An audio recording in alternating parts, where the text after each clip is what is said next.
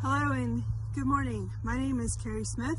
I live in Colorado and I'm an amateur chicken person.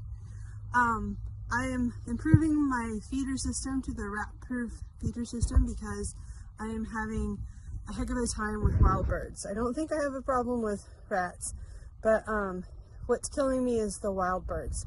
So I want to share uh, in my experience in day one of installation. So let's see if I can. So this was my old feeder. I had it suspended from a wire um, off the ground like this, off the ground in my chicken coop. It's a great little feeder that works well, but unless you have an enclosed run with a roof and everything, the wild birds just get attracted to it. So this is my chicken house. As you can see, I've tried hanging CDs and scare tape to keep the little blackbirds out and it just doesn't work. They don't care. Um, and if you can look, they're just roosting and causing, oh my gosh, a disgusting mess. Um, I've fought them for a couple of years now and, and I'm done. So um, I decided to install the rat-proof chicken feeder. So I mounted it on the back of the wall here. Um, I did use the board and I also used their new mounting bracket in there, but I had this one by two, so I had to install another board. So to close the gap, I also know that they said that the treadle has to bottom out. So I had this piece of uh, wooden beam that I cut um, so that the treadle will bottom out and the chickens don't have to balance. I do use the deep litter method, so um, uh, that's why I put it on this block so that it can bottom out for sure. I do have a mess to clean up because I tried to pull the pour the food in and forgot the lip. So I'm gonna get on that. But um, here's the chicken feeder installed in my little run. My chicken's mainly free range, so this is just where they spend the morning. But I have high hopes that this is gonna work out. Um, I think I followed the installation instructions pretty well, so here's hoping.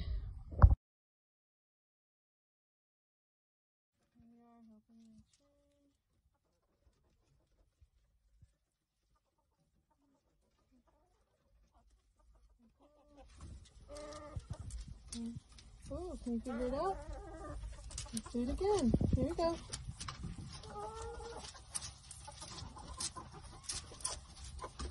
There you go. Jump up there.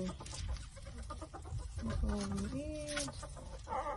Oh, closing. Let's see if we'll do it. Here's the feeder setup I have. The soft close is adjusted as back as far as I can. Have the spring in the furthest hole because honestly if it's any closer then there's not enough spring tension. I think it's the weight of this duck step, frankly. Um, it's just, you're right, is refine balance. As you can see, the door's just not closing 100%. Is it close? Yeah, just not perfect, but it's close.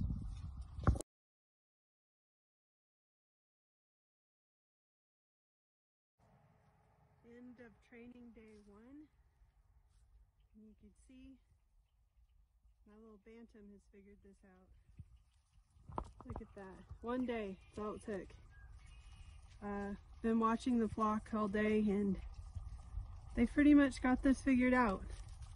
They rest nicely, they eat, and uh, as you can hear, I've got all these wild birds around me in the trees. See them all up there? Hello. There they are. And they, thankfully, have not been able to access the food. Oh look, here comes their buddy.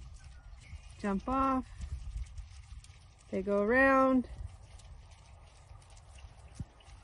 And she goes. And she goes around again.